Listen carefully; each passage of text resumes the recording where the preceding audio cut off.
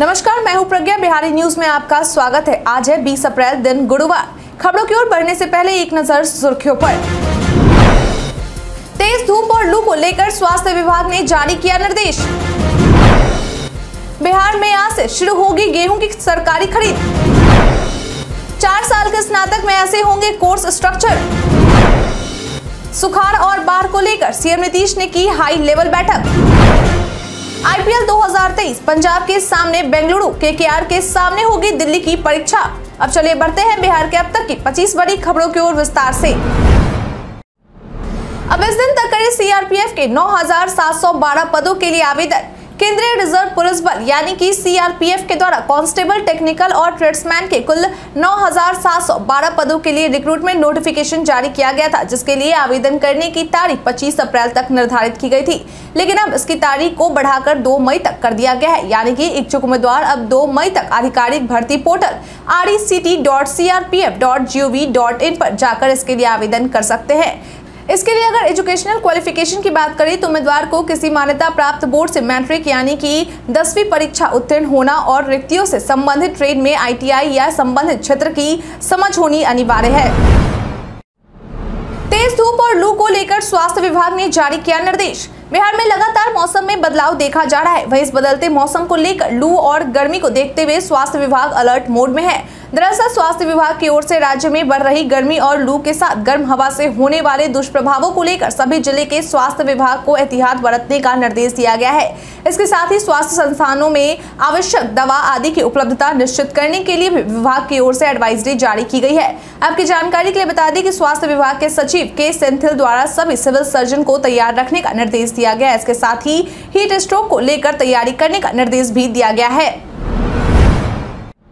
Bihari birthday special में आज हम बात करेंगे रतन राजपूत के बारे में। रतन राजपूत का जन्म आज ही के दिन उन्नीस सौ सतासी को हुआ था। यह एक भारतीय टेलीविज़न अभिनेत्री और ब्लॉगर है, जिन्हें जी टीवी पर अगले जन्म मोहित बिटिया ही कीजो में लाली के किरदार के लिए जाना जाता है। बाद में उन्होंने महाभारत में अम्बा और संतोषी माँ में संतोषी की भूमिका निभाई।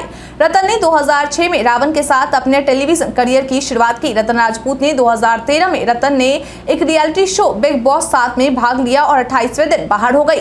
2020 में लॉकडाउन के बाद रतन राजपूत ने अपना यूट्यूब चैनल शुरू किया जहाँ वह अपनी यात्रा की कहानी साझा करती है।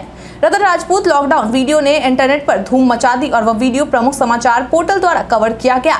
रतन राजपूत अपने सो अगले जन्म मोहे बिटिया ही कीजो के लिए 2009 में Zee Rishtey awards, Indian Telly awards, Indian television academy awards और 2010 में गोल्ड अवार्ड से सम्मानित की जा चुकी हैं। बिहार में आज से शुरू होगी गेहूँ की सरकारी खरीद। बिहार में गेहूँ की सरकारी खरीद की शुरुआत वर्ष 2023-24 के लिहाज से, यानी कि 20 अप्रैल से शुरू होने वाली है, जो कि 31 मई तक चलेगी। बता दें कि इस वर्ष, यानी कि 2023 से 24 के लिए सरकार की ओर से 10 लाख मीट्रिक टन गेहूँ की खरीद का लक्ष्य रखा गया है। वहीं सरकार की ओर से गेहूँ का समर्थन मूल्य दो हज़ार प्रति क्विंटल निर्धारित किया गया है। मालूम हो की अगर हम पिछले वर्ष, यानी की दो से तेईस में गेहूँ के समर्थन मूल्य की बात करें तो उस दौरान समर्थन मूल्य दो हज़ार प्रति क्विंटल निर्धारित किया गया था। इस तरह पिछले साल की तुलना में इस साल गेहूँ के समर्थन मूल्य में सरकार की ओर से दस रूपए का इजाफा किया गया है। आपकी जानकारी के लिए बता दें, गेहूँ खरीदने के अड़तालीस घंटे के अंदर किसानों को पीएफएमएस के माध्यम से पैसे दिए जाएँगे। चार वर्षीय इंटीग्रेटेड बीएड 2023 के लिए आवेदन आज से अगर आप भी चार वर्षीय इंटीग्रेटेड बीएड करने के इच्छुक हैं तो यह खबर आपके लिए है। बता दें कि चार वर्षीय इंटीग्रेटेड बीएड 2023 के लिए आज से आवेदन की शुरुआत हो जाएगी, जो कि 12 मई तक चालू रहेगी। बता दें कि इसके लिए आधिकारिक वेबसाइट लॉन्च कर दी गई है। यानी यानी कि इच्छुक उम्मीदवार 20 अप्रैल, यानी कि आज से 12 मई तक जारी किए गए इस आधिकारिक website Bihar CET dash I N T dash B पर जाकर ऑनलाइन तरीके से आवेदन कर सकते हैं। इसके साथ ही अभ्यर्थियों के लिए एक हेल्पलाइन नंबर नौ चार तीन एक शून्य चार एक छः नौ चार भी जारी किया गया है, जिस पर अभ्यर्थी कॉल करके जानकारी हासिल कर सकते हैं। आपको जानकारी के लिए बता दें कि आप विलंब शुल्क के साथ तेरह से अठारह मई तक आवेदन में हुई किसी प्रकार की त्रुटि में सुधार करवा सकते हैं। वहीं एडमिट कार्ड बाईस मई को जारी की जाएगी और इसकी परीक्षा सत्ताईस मई को आयोजित की जाएगी।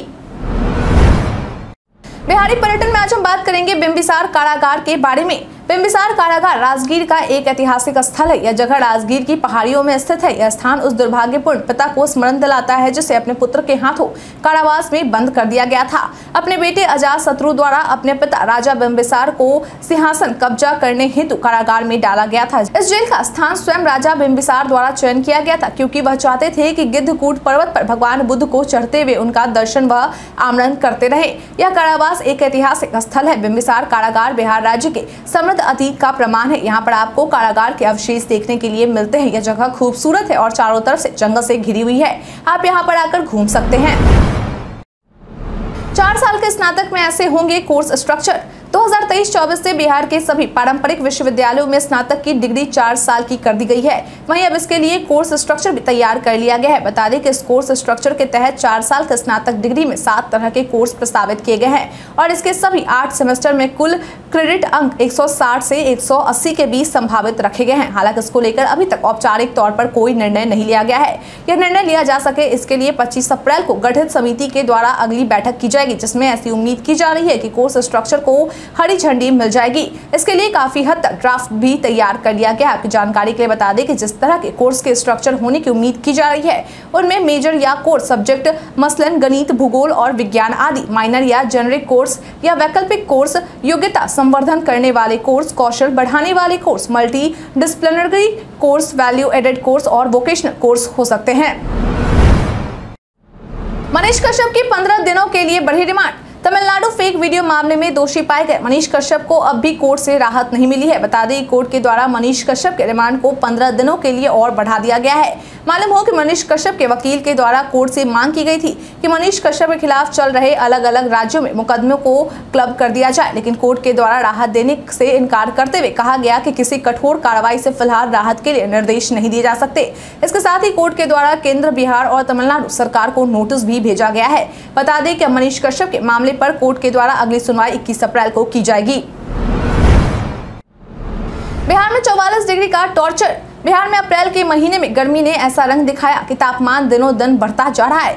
भारतीय मौसम विज्ञान विभाग ने अगले दो दिनों के लिए पटना, गया, औरंगाबाद समेत बिहार के कई जिलों में हीट वेव का अलर्ट जारी किया है। मौसम विभाग के मुताबिक अगले दो दिन चिलचिलाती गर्मी के सितम के बीच गर्म हवाएँ परेशान कर सकती हैं। मौसम विभाग के मुताबिक 20 अप्रैल तक पारा 45 डिग्री के ऊपर पहुँचने की संभावना व्यक्त की गई है। हालाँकि संभावना यह भी जताई गई है कि 20 अप्रैल के बाद तापमान में गिरावट आ सकती है और लोगों को गर्मी से थोड़ी राहत मिल सकती है। लेकिन उससे पहले बीस अप्रैल तक गर्म हवा बढ़ेगी। ने नेशनल कराटे चैंपियनशिप में जीता गोल्ड मेडल। बिहार की बेटियाँ किसी से कम नहीं है, यह तो कई बार बेटियों के द्वारा ज़ाहिर किया जा चुका है। वहीं अब एक बार फिर इस बात को बिहार की सिमुलतल्ला की रहने वाली जूही ने सच कर दिखाया है। दरअसल जूही के द्वारा दिल्ली के इंदिरा गांधी इंडोर स्टेडियम में आयोजित नेशनल कराटे चैंपियनशिप में अपने अंडर चौदह कैटेगरी में राजस्थान की ओर से खेलते हुए कांता वर्ग और कुमेते वर्ग में प्रतिद्वंदियों को मात देकर अपने नाम गोल्ड और सिल्वर मेडल किया गया आपकी जानकारी के लिए बता दें कि इस प्रतियोगिता में करीब बीस राज्यों से दो से अधिक खिलाड़ियों ने भाग भाग लिया था, जिसमें से एक जूही भी शामिल थी। मालूम हो कि इससे पहले भी जूही के द्वारा राजस्थान स्टेट लेवल और छत्तीसगढ़ स्टेट लेवल में कांस्य पदक अपने नाम कर चुकी हैं। वहीं जूही की इस उपलब्धि पर जमुई पुलिस कप्तान शौर्य सुमन, जमुई विधायक श्रेयसी सिंह समेत कई लोगों के द्वारा सम्मानित किया गया है और बधाई दी गई है। राज्य के चार सौ पैंसठ मध्य विद्यालयों के दो दो वर्ग बनेंगे स्मार्ट। बहुत जल्द ही राज्य के चार सौ पैंसठ मध्य विद्यालयों के दो दो कक्षाओं को स्मार्ट क्लासरूम में तब्दील कर दिया जाएगा। बता दें कि इसके लिए जो योजना बनाई गई थी, उसको शिक्षा विभाग की ओर से हरी झंडी दिखा दी गई है। मालूम हो कि अब राज्य के इन चार सौ पैंसठ मध्य विद्यालयों में स्मार्ट क्लासरूम बनाने का कार्य दो से तीन महीने के अंदर पूरा कर लिया जाएगा।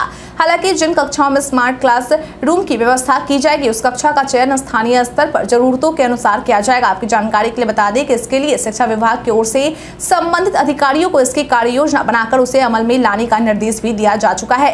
मालूम हो कि इससे पहले सरकार की ओर से राज्य के दो हज़ार दो सौ चौहत्तर मध्य विद्यालयों के दो दो कक्षाओं को स्मार्ट क्लासरूम में तब्दील किया जा चुका है। सुखाड़ा और बाढ़ को लेकर सीएम नीतीश ने की हाई लेवल बैठक। बीते दिन मुख्यमंत्री नीतीश कुमार के द्वारा अपने एक अने मार्ग स्थित लोक संवाद में एक समीक्षा बैठक की गई। बता दें कि यह बैठक राज्य में सुखाड़ और बाढ़ से होने वाले आपदाओं को लेकर पहले से की जाने वाली तैयारियों को जानने के लिए आयोजित किया गया था। इस दौरान सीएम नीतीश ने निर्देश देते हुए कहा कि मानसून के आगमन से पहले सभी तैयारियों को समय से पूरा कर लिया जाए। जिन भी जिलों में बाढ़ आश्रय स्थल का निर्माण कार्य पूर्ण नहीं हुआ है, उसे जल्द पूरा किया जाए। बाढ़ की स्थिति में पिछले वर्षों की भांति ही इस वर्ष भी सामुदायिक रसोई का संचालन बेहतर ढंग से किया जाए। इसके इसके साथ ही बाढ़ के खतरों को कम किया जा सके, इसके लिए नदियों की गाद की उड़ाही एवं सिल्ट हटाने को लेकर तेज़ी से कार्य करे। वृक्षारोपण के कार्य को भी और बढ़ा दिया जाए। नगर विकास एवं आवास विभाग, नगर निकायों के नव निर्वाचित जनप्रतिनिधियों को जल्द से जल्द प्रशिक्षण करा दे ताकि उन्हें सभी दायित्वों की जानकारी हो और बेहतर समन्वय स्थापित हो सके। इसके साथ उन्होंने कहा कि इस वर्ष गर्मी ज़्यादा है, इसलिए इसे ध्यान में रखते हुए सभी तैयारियों को पूरा करके रखे और लोगों को सचेत करें।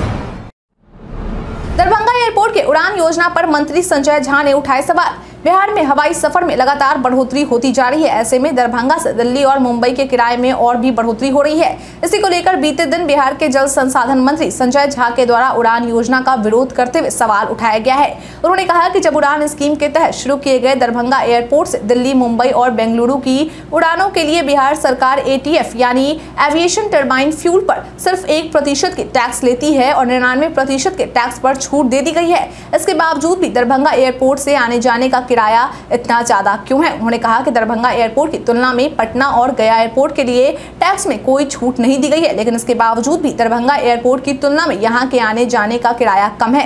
इसलिए मैं एयरपोर्ट अथॉरिटी ऑफ़ इंडिया के अधिकारियों से अनुरोध करता हूँ की दरभंगा एयरपोर्ट के हवाई किरायों पर पुनर्विचार करें और यात्रियों को राहत दें।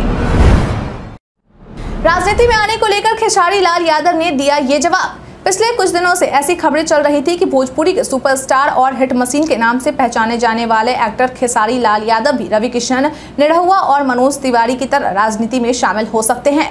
लेकिन अब इन खबरों को लेकर खुद खेसारी लाल यादव के द्वारा सब कुछ स्पष्ट कर दिया गया है। दरअसल बीते दिन खेसारी लाल यादव एक कार्यक्रम में भाग लेने के लिए बिहार की राजधानी पटना पहुँचे थे, जहाँ उन्होंने मीडिया के सवालों का जवाब देते हुए अपनी राजनीति में आने को लेकर कहा गया।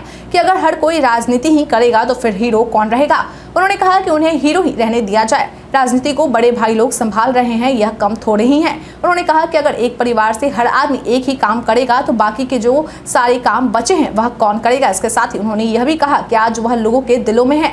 लोगों के लिए हीरो है, ज़िंदगी में हर काम हर आदमी नहीं कर सकता।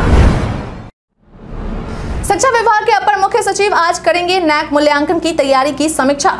आज यानी कि 20 अप्रैल को शिक्षा विभाग के अपर मुख्य सचिव दीपक कुमार सिंह के द्वारा नैक मूल्यांकन की तैयारियों की समीक्षा की जाएगी। इस दौरान अपर मुख्य सचिव के साथ बिहार राज्य उच्च शिक्षा परिषद के शिक्षा सलाहकार प्रोफेसर एन के अग्रवाल भी उनके साथ मौजूद होंगे। आपकी जानकारी के लिए बता दें कि यह समीक्षा सेंट्रल लाइब्रेरी स्थित सीनेट हॉल में सुबह साढ़े दस बजे की जाएगी, जिसमें सभी अंगीभूत संबंध व बी कॉलेजों के प्राचार्य अपने साथ नैक मूल्यांकन को लेकर चल रही तैयारियों की वर्तमान स्थिति से संबंधित रिपोर्ट लेकर शामिल होने के लिए दस बजे तक सीनेट हॉल पहुँच जाएँगे। इसके लिए उन्हें पत्र भेज दिया गया है। आपकी जानकारी के लिए बता दें कि वर्ष 2023-24 के प्रस्तावित बजट में विश्वविद्यालय प्रशासन के द्वारा नैक मूल्यांकन की तैयारियों पर 11 करोड़ रुपए खर्च करने का प्रावधान किया गया है। केदारनाथ धाम यात्रा पर जाने से पहले जान ले दर्शन के यह नियम। अगर आप भी केदारनाथ धाम की तीर्थ यात्रा पर जाने वाले हैं तो यह खबर आपके लिए है। बता दें कि इस बार केदारनाथ धाम यात्रा पर जाने की शुरुआत 25 अप्रैल से हो रही है। मालूम हो कि उत्तराखंड सरकार के द्वारा तय की गई सीमा के अनुसार इस बार अधिकतम तेरह हज़ार भक्त भगवान केदारनाथ के दर्शन कर पाएँगे। बता दें की रुद्रप्रयाग के डीएम मयूर दीक्षित के द्वारा दी गई जानकारी के अनुसार इस बार तीर्थ यात्रियों के लिए टोकन प्रणाली की शुरुआत की गई है। इसके साथ ही यात्रियों की स्वास्थ्य स्थिति को देखते हुए यात्रा के रूट पर 22 डॉक्टरों और 22 पारामेडिकल्स को तैनात किया जाएगा और साथ ही रूट में 12 मेडिकल कैंप भी लगाए जाएँगे। इस दौरान हर वक्त छह एंबुलेंस की तैनाती रहेगी। इसके साथ ही तीन एंबुलेंस को रिज़र्व में रखा जाएगा। इसके अलावा रूट को स्वच्छ बनाए रखने की ज़िम्मेदारी सुलभ इंटरनेशनल को दी गई है और मंदिर परिसर को साफ़ रखने की ज़िम्मेदारी केदारनाथ पंचायत को दी गई है। प्लास्टिक और पानी की बोतलों के लिए क्यूआर कोड सिस्टम लागू किया जाएगा। इसके साथ ही इस बार यात्रियों को यात्रा के दौरान और भी कई सुविधाएँ मिलने वाली है।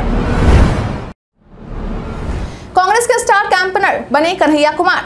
आगामी कर्नाटक विधानसभा चुनाव को लेकर बीते दिन बुधवार को कांग्रेस के द्वारा अपने स्टार प्रचारकों की सूची जारी कर दी गई है। बता दी कि जारी की गई इस सूची में जेएनयू के पूर्व छात्र नेता और कांग्रेस नेता कन्हैया कुमार के नाम भी शामिल है। यानी कि अब कन्हैया कुमार को कांग्रेस की ओर से अहम ज़िम्मेदारी सौंप दी गई है। आपकी जानकारी के लिए बता दें, कांग्रेस ने अपने स्टार प्रचारकों की सूची में कुल 40 नेताओं के नाम को शामिल किया है, जिसमें कांग्रेस अध्यक्ष मल्लिकार्जुन खड़गे, सोनिया गांधी, राहुल गांधी, प्रियंका गांधी वाड्रा, सीएम अशोक गहलोत, भूपेश बघेल, सुखविंदर सिंह सुक्खू, मोहम्मद हजरुद्दीन, इमरान प्रतापगढ़ी समेत कई नेताओं के नाम शामिल है, जिसमें एक नाम कन्हैया कुमार का भी शामिल है। आपकी जानकारी के लिए बता दें कि कन्हैया कुमार उस दौरान खास चर्चा में आए थे, जब जेएनयू में देश विरोधी नारे लगाने के कथित आरोपों में कन्हैया का नाम आया था। बीजेपी से जेडीयू ने मांगे इन सवालों के जवाब। बीते दिन जेडीयू के मुख्य प्रवक्ता नीरज कुमार के द्वारा पार्टी के प्रदेश कार्यालय में प्रेस कॉन्फ्रेंस के दौरान बीजेपी पर जमकर हमला बोला। बता दें कि इस दौरान नीरज कुमार के द्वारा बीजेपी से कई सवाल भी पूछे गए। उन्होंने सवाल पूछते हुए कहा कि क्या यह सही नहीं है कि सीएम नीतीश की शराबबंदी की तारीफ़ प्रधानमंत्री मोदी ने भी की थी? क्या शराबबंदी कानून को लेकर नरेंद्र मोदी को उनकी ही पार्टी, यानी कि बीजेपी के नेता अंगूठा दिखा रहे हैं? जब बीजेपी सत्ता में थी तो इनके कितने नेता घटना होने पर घटना स्थल पर गए थे? गुजरात में जहरीली शराब से मौत होने पर मुआवजा क्यों नहीं दिया गया? इसके साथ ही उन्होंने सीएम योगी पर हमला बोलते हुए कहा कि उत्तर प्रदेश में शराब से जो मौत हुई, उस पर सरकार ने क्या किया? उन्होंने कहा कि आप हमें बस ये बताइए कितने हिंदू है जो शराब पीकर मरे और उन्हें मुआवजा दिया गया। आप सभी मुस्लिम को ही छोड़ तो दीजिए, क्योंकि आप हिंदुओं के ठेकेदार बने हुए हैं। भारत के नंबर एक बनने पर विरोध में भाजपा के गिरिराज संयुक्त राष्ट्र जनसंख्या कोष की state of world population report 2023 के अनुसार भारत के द्वारा चीन को पीछे छोड़ते हुए 142.86 करोड़ जनसंख्या के साथ देश में सबसे ज़्यादा आबादी वाला देश बन गया है। वहीं भारत की आबादी के मामले में नंबर एक पर आने को लेकर केंद्रीय मंत्री गिरिराज सिंह के द्वारा तंज कसा गया है। उन्होंने ट्वीट पर लिखा है कि और आज हम नंबर वन हो गए हैं। आज की सबसे बड़ी समस्या जनसंख्या विस्फोट है। इससे सामाजिक समरसता ही नहीं। अन्न जल के कमी का भी असीमित दबाव भारत पर हो रहा है। दरअसल गिरिराज सिंह के द्वारा हमेशा जनसंख्या नियंत्रण कानून लाने की मांग करती रही गई है। लेकिन आज जब भारत दुनिया का सबसे ज़्यादा आबादी वाला देश बन गया है तो गिरिराज के द्वारा तंज कसा गया? आईपीएल 2023 पंजाब के सामने बेंगलुरु, केकेआर के सामने होगी दिल्ली की परीक्षा। आज आईपीएल के दो मुकाबले खेले जाएँगे। शाम साढ़े तीन बजे से मोहाली में पंजाब किंग्स बनाम रॉयल चैलेंजर्स बेंगलुरु मुकाबला खेला जाएगा। जबकि शाम साढ़े सात बजे से दिल्ली में दिल्ली कैपिटल्स का सामना कोलकाता नाइट राइडर्स से होगा। पहले मुकाबले की बात करें तो आरसीबी जीत की पटरी पर लौटने के इरादे से उतरेगी। वहीं पंजाब पिछला मुकाबला जीतने के बाद आत्मविश्वास से भरी हुई होगी। पंजाब को होम कंडीशन का एडवांटेज भी रहेगा। पंजाब की टीम ने अपने पिछले मैच में लखनऊ को हराया है, जबकि आरसीबी चेन्नई सुपर किंग्स के हाथों हार कर आ रही है, लेकिन आरसीबी की टीम फॉर्म में है, इसलिए एक बेहद ही दिलचस्प मुकाबले की पूरी उम्मीद है। आज के दूसरे मुकाबले की बात करें तो दिल्ली की टीम अभी भी अपनी पहली जीत तलाश रही है। अभी तक पाँच में से एक भी मैच में दिल्ली ने जीत का स्वाद नहीं चखा है। दूसरी तरफ़ केकेआर की टीम भी अपने दोनों मुकाबले हार कर आ रही है और वो इस मुकाबले को जीत कर जीत की पटरी पर लौटना चाहेगी। भारत के इतिहास में आज की तारीख है बेहद खास, जहाँ दर शाह सत्रह सौ बारह में दिल्ली की गद्दी पर बैठा। भारत ने 1971 में अपना पहला टेस्ट क्रिकेट मैच जीता। श्री इंद्र कुमार गुजराल उन्नीस में भारत के बारहवें प्रधानमंत्री बने। भारत ने 2006 में अपना पहला विदेशी सैन्य अड्डा ताजिकिस्तान में स्थापित करने की घोषणा की। महाराष्ट्र भाजपा के नेता व राष्ट्रीय महासचिव गोपीनाथ मुंडे ने 2008 में अपने पद से इस्तीफा दे दिया था। भारतीय अंतरिक्ष अनुसंधान संगठन के उपग्रह प्रक्षेपण यान पी ने 2011 में तीन उपग्रहों को सफलतापूर्वक अंतरिक्ष में स्थापित किया। अमेरिकी मीडिया ने 2012 में भारत के अग्नि पाँच मिसाइल के सफल परीक्षण पर कहा कि इससे भारत को उसके पड़ोसी देश चीन के बराबर में खड़ा कर दिया है। प्रसिद्ध भजन गायिका जुथिका रॉय का जन्म 1920 में हुआ। उन्नीस में भारत के प्रसिद्ध इतिहासकार गौरी शंकर हीरा चंद ओझा का निधन हुआ। 1960 में भारत के प्रसिद्ध बांसुरी वादक पन्नालाल घोष का निधन हुआ। आज के दिन को डॉक्टर हैनीमैन जन्म दिवस जो कि होम्योपैथी चिकित्सा पद्धति के जन्मदाता है, के रूप में मनाया जाता है। वर्गफंड में आज हम बात करेंगे प्रधानमंत्री स्मार्टफ़ोन योजना के बारे में। सोशल मीडिया पर कई सूचनाएँ वायरल होती है, लेकिन सभी सच हो, ये ज़रूरी नहीं है। इसी कड़ी में आज हम बात करेंगे प्रधानमंत्री स्मार्टफ़ोन योजना के बारे में। दरअसल पीआईबी ने अपने ट्वीट में लिखा है कि सरकारी ब्लॉग नामक यूट्यूब चैनल के एक वीडियो में यह दावा किया गया है कि प्रधानमंत्री स्मार्टफ़ोन योजना दो हज़ार तेईस के तहत केंद्र सरकार सभी को फ्री में स्मार्टफ़ोन उपलब्ध करवा रही है। पीआईबी ने अपने ट्वीट में आगे लिखा है कि वीडियो फर्जी है या धोखाधड़ी का प्रयास है। कृपया सावधान रहें। व्हाट्सएप में जल्द मिल सकता है animated emoji feature WA beta info के द्वारा दी गई जानकारी के अनुसार पॉपुलर मैसेजिंग ऐप व्हाट्सएप अपने एनिमेटेड इमोजी फीचर पर काम कर रहा है। रिपोर्ट में कहा जा रहा है कि व्हाट्सएप इस नए फीचर के लिए लॉटी लाइब्रेरी के साथ काम कर रहा है। व्हाट्सएप के इस नए फीचर की टेस्टिंग फ़िलहाल बीटा वर्जन पर हो रही है। हालाँकि रिपोर्ट से इस बात की जानकारी नहीं मिली है कि व्हाट्सएप बीटा के किस वर्जन पर इस फीचर की टेस्टिंग चला रही है। डब्ल्यूए बीटा इन्फो के मुताबिक यह फीचर डेस्कटॉप ऐप पर टेस्ट हो रहा है और जल्द ही इसे आम यूज़र्स के लिए जारी किया जाएगा। इसका अपडेट डेस्कटॉप के बाद आईओएस और एंड्रॉइड के लिए भी आएगा। भारत बना दुनिया का सबसे ज़्यादा आबादी वाला देश। भारत के द्वारा अब चीन को पीछे छोड़ते हुए दुनिया का सबसे आबादी वाला देश बन गया है। बता दें कि आबादी का यह आंकड़ा संयुक्त राष्ट्र संघ के आंकड़ों के मुताबिक सामने आया है। आपकी जानकारी के लिए बता दें कि संयुक्त राष्ट्र संघ की ओर से दिए गए आंकड़ों के अनुसार भारत की आबादी अब एक करोड़ पहुँच गई है, जबकि चीन की आबादी अभी एक सौ बयालीस पाँच सात करोड़ है। यानी कि वर्तमान में भारत की आबादी चीन की आबादी की तुलना में उनतीस लाख अधिक है। मालूम हो कि संयुक्त राष्ट्र संघ की ओर से पिछले साल यह अनुमान लगाया गया था कि अगले साल तक भारत की आबादी इतनी बढ़ जाएगी कि वह चीन की आबादी को भी पीछे छोड़ देगा। आपकी जानकारी के लिए बता दें कि इस संबंध में बीते दिन एनएफपीए की the state of world population report 2023 को जारी की है। इस रिपोर्ट का नाम 8 billion lives infinite possibilities the case for rights and choice है। यहाँ आंकड़े डेमोग्राफिक इंडिकेटर्स की श्रेणी में दिए गए हैं। साल का पहला सूर्य ग्रहण आज। आज यानी कि 20 अप्रैल को साल का पहला सूर्य ग्रहण है। आपकी जानकारी के लिए बता दें कि इस वर्ष तीन सूर्य ग्रहण और तीन चंद्र ग्रहण लगने वाले हैं, जिसमें से सबसे पहला ग्रहण वैशाख, कृष्ण, अमावस्या को मेष राशि में खगराज सूर्य ग्रहण लग रहा है। आपकी जानकारी के लिए बता दें कि आज लगने वाले इस सूर्य ग्रहण का समय ज्योतिषियों के अनुसार प्रातः सात पाँच बजे से शुरू होगा, जो की दोपहर बारह उनतीस बजे तक जारी रहेगा। यानी कि इस सूर्य ग्रहण की कुल अवधि पाँच घंटे चौबीस मिनट तक रहेगी। हालाँकि यह सूर्य ग्रहण भारत में दिखाई नहीं देगा, जिस वजह से भारत में सूतक काल मान्य नहीं होगा। मालूम हो कि सूतक काल के दौरान ज्योतिषियों के अनुसार किसी भी प्रकार के शुभ कृत वर्जित रहते हैं। बता दें कि इसके बाद इस वर्ष का दूसरा सूर्य ग्रहण 14 अक्टूबर को होगा। आज लगने वाला यह सूर्य ग्रहण कंकनाकृति सूर्य ग्रहण होगा। बीते दिन हमारे द्वारा पूछे गए सवाल का आप लोगों में से बहुत लोगों ने अपना जवाब हमें हमारे कमेंट सेक्शन बॉक्स में लिख कर दिया था। जिन्होंने हमारे द्वारा पूछे गए सवाल का जवाब दिया है, उनके नाम है बिट्टू कुमार राज मलन कुमार, मुट्टू रंगीला, सोनू कुमार, अजय शर्मा, रंजीत मिश्रा, रवि कुमार राम, मोहम्मद तौसीफ रेजा, पंकज कुमार दास, वेद प्रकाश सिंह नुन्नू गोलू कुमार, सुदामा कुमार चौहान, अनवर करीम खान, पंकज कुमार, राजीव कुमार। इसके साथ ही बढ़ते हैं आज के सवाल की ओर। आज का सवाल है आपके अनुसार बढ़ती आबादी को नियंत्रित करने के लिए सरकार को क्या क्या कदम उठाने चाहिए? अपना जवाब हमें हमारे कमेंट सेक्शन में लिखकर ज़रूर बताएँ। आज के लिए इतना ही। बिहार के तमाम खबरों के साथ बने रहने के लिए देखते रहे बिहारी न्यूज़। और साथ ही अगर आप यूट्यूब से देख रहे हैं, चैनल को सब्सक्राइब करना और अगर आप फेसबुक से देख रहे हैं तो पेज को फॉलो करना ना भूलें। धन्यवाद।